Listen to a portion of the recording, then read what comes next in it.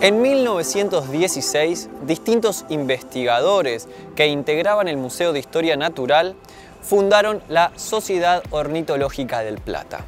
Su objetivo era el de agrupar a las personas amantes de las aves que ya venían advirtiendo sobre el deterioro de la naturaleza en general. Hoy esta sociedad se la conoce como Aves Argentinas. Y casi un siglo después, los objetivos siguen siendo los mismos, la conservación de las aves y el ambiente. Acompáñenme porque estuvimos hablando con una de sus integrantes. Es naturalista de campo y guía intérprete de patrimonio natural. Asistente de Desarrollo Institucional de la organización no gubernamental Aves Argentinas. Hoy conversa con nosotros Valeria Abas. Bueno, me encuentro con Valeria Abas del Departamento Institucional de Aves Argentinas. Muchas gracias por venir, Vale. ¿Cómo gracias a ustedes. Muy bien. Muy bien. Bueno, te quería empezar a consultar. El 5 de octubre se celebra el Día Nacional del Ave. Nosotros en Argentina, ¿tenemos algún ave emblemática? ¿Tenemos un ave nacional?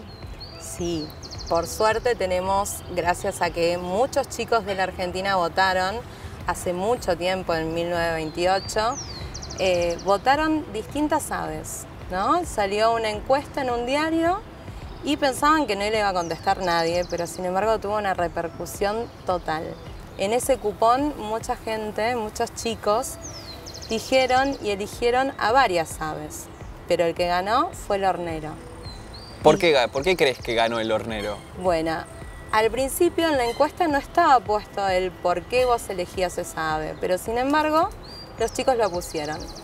Y el reflejo era que eran muy trabajadores, que ellos veían que hacían mucho, mucho esfuerzo con sus picos en la construcción en pareja de esas casas donde después iban a tener sus pichones, ese nido. El, ave nacional entonces es un ave trabajadora. Exactamente, fue elegida entre el Tero, que también los chicos lo habían elegido en tercer puesto, digamos, porque cuidaba mucho sus pichones, y la otra ave que quedó en segundo lugar fue el cóndor. Uh, que el cóndor, eh, según los chicos, tenía mucho que ver con las cumbres y con todo lo que había construido San Martín, con esa libertad que nos había dado, así que bueno. Hay un montón de historia en las aves, ¿no es cierto? Que se ve reflejada en las aves, por lo que me estás contando. Exactamente, las aves nos acompañan históricamente desde hace miles de años, enseñándonos muchas cosas, ¿no? Y de repente eh, esto que vemos en la ave nacional del trabajo, del cuidado, del esforzarse, ellos nunca usan el mismo nido, por ejemplo. Mm. Año a año construyen otros nidos y la verdad es que las aves están dentro de nuestra cultura, ya sea por su canto, por su hermosura. Justo ahora estamos en un, ambiente ideal. Eh, estamos escuchando algunos sonidos de aves en este momento. Exactamente. Vale, eh, últimamente nosotros estuvimos hablando bastante de una problemática que involucra a un montón de especies de animales, pero sobre todo también a las aves, que es el tráfico de fauna, que son, las aves son víctimas del, trato, del tráfico de fauna. ¿Hay alguna otra problemática vinculada a la existencia de las aves? Bien, tenemos varias problemáticas, lamentablemente. Eh, si bien somos uno de los países que poseemos la suerte de tener el 10% a nivel mundial de todas las aves del mundo, o sea, es un número impresionante. Es un montón. Es un montón y así también es la responsabilidad que tenemos, ¿no? De conservarlas. Tenemos problemas con respecto a la deforestación, tenemos problemas con respecto a todo lo que es la contaminación, ya sea en el mar como en cualquier otro lugar por la basura y demás. Entonces, desde, desde el uso y, y toda la conservación, hay que pensar muy bien en qué es lo que queremos conservar a futuro para que justamente ellos puedan seguir sobreviviendo y nosotros también. Vos antes me comentabas, perdón que cuente una intimidad tuya, pero que te habías ido a vivir al campo y que lo primero que te fijabas era en las aves. ¿Por qué te fijabas en eso? Bueno, ellos son justamente un indicador de la salud del ambiente. Cuantas más especies hay, mejor está ese ambiente. Cuando más diversas son las aves, justamente es mejor porque van a estar eh, aportando semillas. Todas las aves no comen lo mismo, no todas vuelan, no todas tienen su misma conducta. Entonces, cuanto más diversidad hay en, en el ambiente es porque mejor está ese ambiente. ¿Y cuál es el aporte que hacen las aves al ambiente? Porque me imagino que es circular. Exactamente, tenemos un montón de aportes, desde que ellas comen semillas y van plantando en, su vuelo esas semillas, eh, son formadores de distintos ambientes justamente por esto, pero al mismo tiempo están aportando, por ejemplo, en el control de rapaces, eh, cuando hablamos de rapaces, controlan todo lo que son roedores, toda la población de, serpientes. Cuando, cuando uno va al campo, ve que la gente a veces le tiene mucho miedo a las especies y las aves justamente son unos aliados a la hora de control de enfermedades también. Mm. Desde Aves Argentinas, ¿hay algún proyecto o generan acciones para poder combatir tanto al tráfico de fauna, al cambio de los hábitats y este, este tipo de problemas que tienen las aves? Mira, tenemos varios grupos entre ellos grupos de voluntarios, un grupo de voluntariado especial es justamente el grupo contra el tráfico ilegal de fauna, luego tenemos un montón de, otras iniciativas, desde los COAS, que son clubes de observadores de aves, tenemos más de 80 distribuidos en todo el país, en más de 19 provincias, y ellos también localmente ayudan a todo lo que son las problemáticas ambientales de sus localidades. Mm. Ellos con su donación de tiempo, de, conocimientos, llevan eh, y acercan a toda la gente a la naturaleza.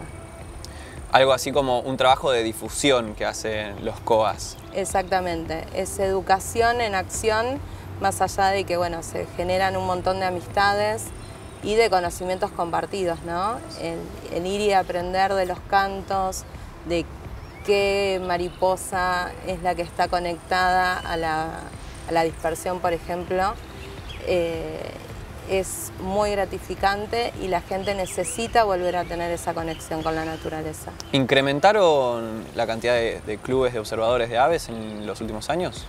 Se incrementó más la participación. Si mm. bien los, los clubes sí van creciendo, cada vez participan más personas y cuando empiezan a descubrir lo que es la observación de aves, es un camino de ida, decimos nosotros, porque la paz que nos transmite el contacto con la naturaleza nos saca mucho estrés de la vida cotidiana y eso es muy bueno para todos.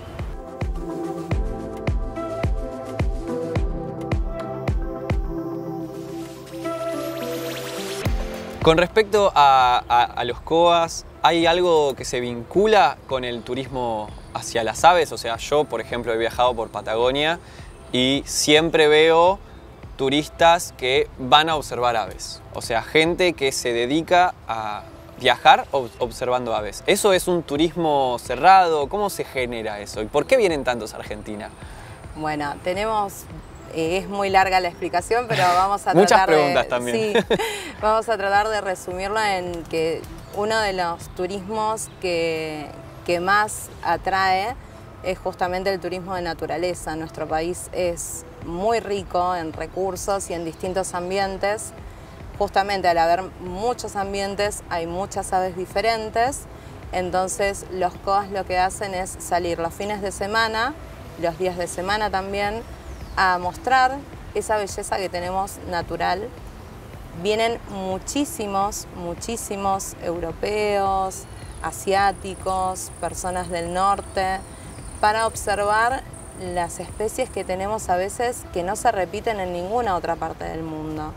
Yo antes te, había comentado que los americanos tenemos eso tan lindo de los picaflores, que no hay en otra parte que no sea América y de repente vienen a buscar, digamos, la figurita difícil y eh, se dedican toda la vida a recorrer el mundo en busca de especies emblemáticas que no, que no van a encontrar en otro lugar.